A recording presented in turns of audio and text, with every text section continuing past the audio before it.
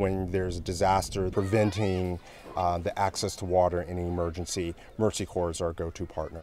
In Jordan, in, uh, with the Syrian refugees, they don't have access to, to water, so Mercy Corps went in and they're drilling a well.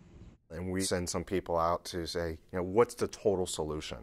Um, we want to make sure that they're looking at the big picture and not just being reactive. There might be a better way to do it that, you know, it's going to be a long-term solution. So we really look at all aspects, and I think that's probably the unique thing about uh, Xylem Watermark. We're not spread out, we're not trying to do everything, we're focused on water.